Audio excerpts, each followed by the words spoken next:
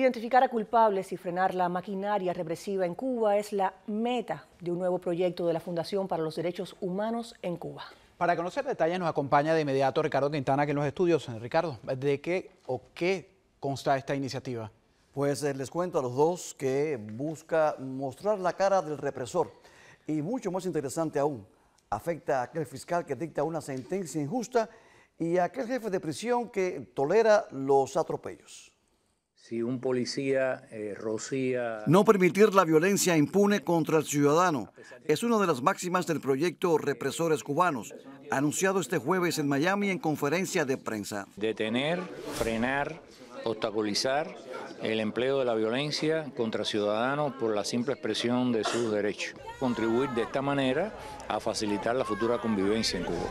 ¡Libertad para el pueblo de Cuba! Se evita así que la víctima sin protección se convierta en blanco fácil de la represión. Nosotros no somos ni juez ni jurado, pero sí vamos a recopilar información de las violaciones de derechos humanos para que haya constancia, para que se sepa, para que los vecinos de los opresores lo sepan, para que el pueblo de Cuba lo sepa y el mundo lo sepa. Vivo en Cuba, soy del grupo Los 75. Entre los asistentes, José Daniel Ferrer e Iván Hernández Carrillo, miembros de la sociedad civil independiente en Cuba. Yo creo que es una señal que se le está enviando a ellos, a los represores violentos, para que al menos tengan la consecuencia de no, sean consecuentes y no sean tan violentos a la hora de enfrentarse con la oposición, con las personas que dentro de Cuba luchamos por las libertades básicas de todos los cubanos, e incluso de ellos mismos. Esto es algo que están haciendo y es muy importante abonarlo, cultivarlo de manera tal que dé buenos resultados, los resultados que esperamos,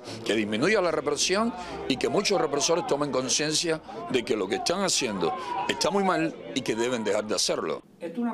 Mediante la página web represores.com, el interesado podría emitir la denuncia, que debe incluir nombre del represor, cargo que ocupa y grado si es militar, además de las generales de la persona.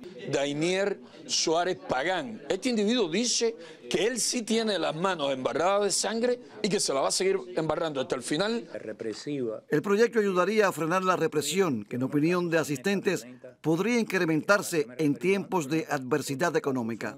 Este es uno de los, pe de los peores. Este Una vez recibida la denuncia, un equipo de expertos se encargará de la investigación. El proyecto también envía un mensaje a aquellos represores que ocultan su historial para obtener una visa y viajar a Estados Unidos.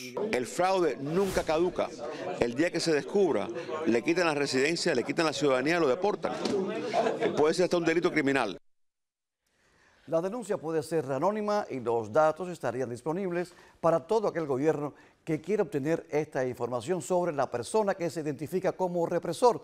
También se incluye aquellos cubanos represores que toman parte, Alejandro, en actos violentos, por ejemplo, en Venezuela.